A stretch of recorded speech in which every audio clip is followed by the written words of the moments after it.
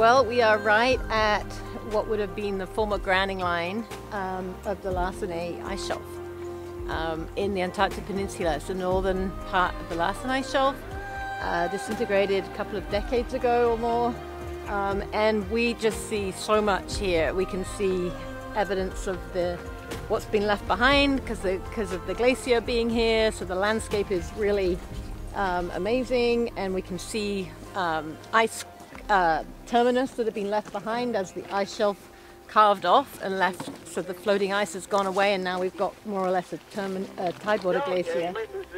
And we see refrozen meltwater. We see crevasses. We see all the signs of all the things that we know cause this ice shelf to disintegrate, which was essentially hydrofracture. It's amazing. For a glaciologist who's been working on Antarctica for as long as I have. This is like the most immense privilege. I can't tell you what it feels like to be here right now. Very honored.